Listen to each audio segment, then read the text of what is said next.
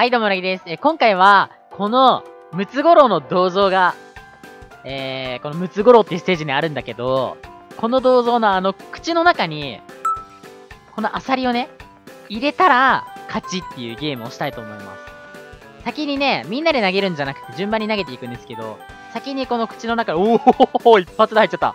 こういう感じで、あの、口の中に入れたら、勝ちとなってます。はい。誰が一番最初にできるか、対決です。ということで、今回これをやっていきましょ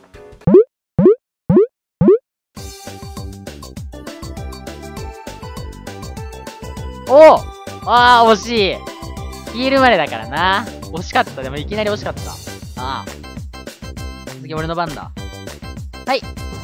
ああ落ちてきた。おお。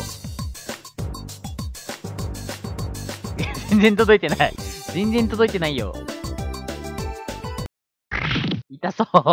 痛そうだな。おお？お狙って？惜しいなんかちょっといい感じだな。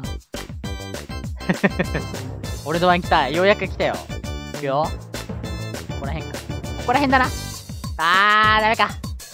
ダメやな。あああー、落ちてきちゃった。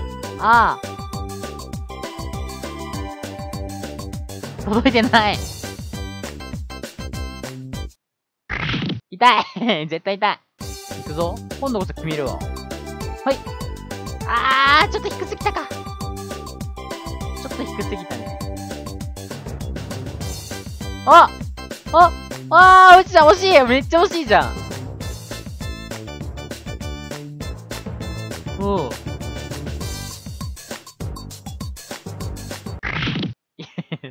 時々ムツゴロウにめちゃくちゃさ、速いシュートがさ、来てるんだよね。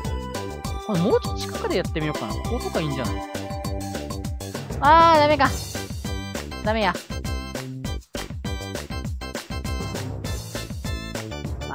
あ、上唇。上唇当たってたぞ、今。痛い。痛々しいな、見てるの。違えて撃っちゃったよ。ちょ、待って、間違え、間違えて撃っちゃった、俺。いくよ。ダメだ。下手くそやな。あええ？え？ちょっとおかしい。ちょっとおかしいよ、あれ。あれ、ちょっとおかしいって。逆にすごいわ、今の。